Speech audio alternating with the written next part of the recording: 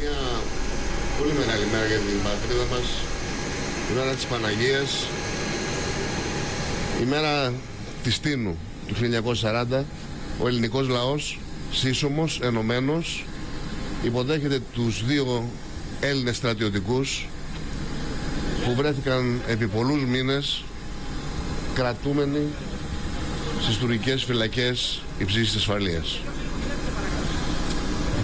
Θέλω να στείλουμε ένα μήνυμα ενότητος του ελληνικού λαού ο οποίος με ιδιαίτερη φόρτιση, συγκίνηση όλο αυτό το διάστημα της κράτησης των δύο Ελλήνων στρατιωτικών επέδειξε ενότητα και πατριωτισμό. Εκ μέρους του Πρωθυπουργού και της κυβέρνησης αλλά και του ελληνικού λαού τους υποδεχόμαστε στην πατρίδα και ελπίζω ότι η απελευθέρωσή τους σήμερα αυτή τη σημαδιακή μέρα θα σημάνει και μια άλλη μέρα για τις ενωτουρικές σχέσεις. Μπορούμε να ζήσουμε μαζί και μπορούμε να ζήσουμε ειρηνικά προς όφελος και των δύο λαών μας. Μπορούμε να ζήσουμε χτίζοντας το μέλλον και το αύριο και των δύο χωρών μας. Σεβόμενοι το διεθνές δίκαιο και τις διεθνείς συνθήκες.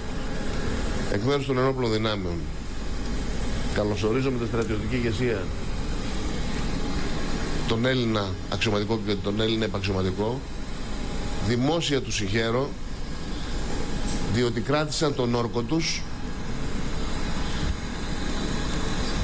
ως καλοί και φιλότιμοι στρατιώτες δεν παρέδωσαν τη σημαία